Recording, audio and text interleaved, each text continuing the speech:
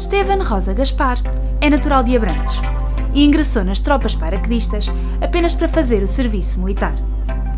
Rapidamente descobriu que não queria parar de voar.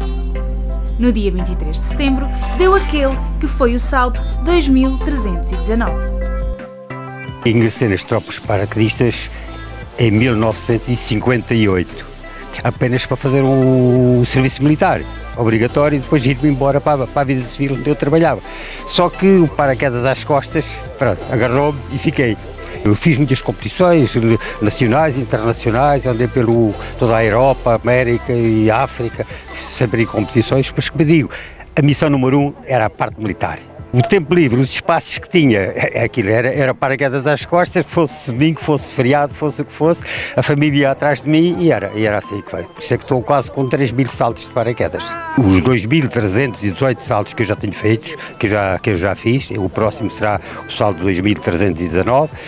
Uh, esses saltos foram feitos de avião, de helicóptero, de balão, foram feitos para a água, foram feitos de noite, foram feitos para os estádios de, do Benfica, do Sporting, Estádio Nacional, de noite, de dia. Antigamente havia aquela coisa do que chamavam-lhe o tatu, que eram com as bandas militares, que eram feitas durante a noite. E eu lá estava a saltar com a minha equipa para o estádio do Restelo e todos esses estádios onde, onde se disputava essa, esse tatu militar de bandas militares, às 11 da noite, 11, 11 meia-noite, lá estávamos a saltar. Correu sempre tudo bem e isso satisfez-me bastante também.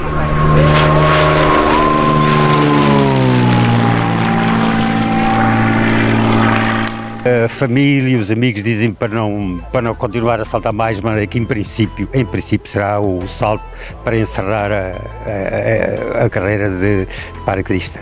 Dentro de momentos deve chegar aí os netos e a bisneta e aproveito para depois fazer uma fotografia com a bisnetazinha para ficar de recordação. Ativo como poucos, aos 83 anos, Estevan saltou a 1500 metros. Emocionado, admite que se no próximo ano se sentir com forças, saltará novamente. Não, não, foi um salto muito alto, como eu gostava de fazer, mas pronto, foi suficiente para brincar um bocadinho e recordar todo o passado. Foi, foi, foi um salto que me satisfez a 100%. Perguntar a várias pessoas, todas se interrogam e eu também não, não vou fazer jura nenhuma. Em princípio será no próximo ano, se me sentir com as forças e com a mesma disposição que tenho agora, sou capaz de aparecer aqui. É uma questão de deixar passar o tempo e depois veremos.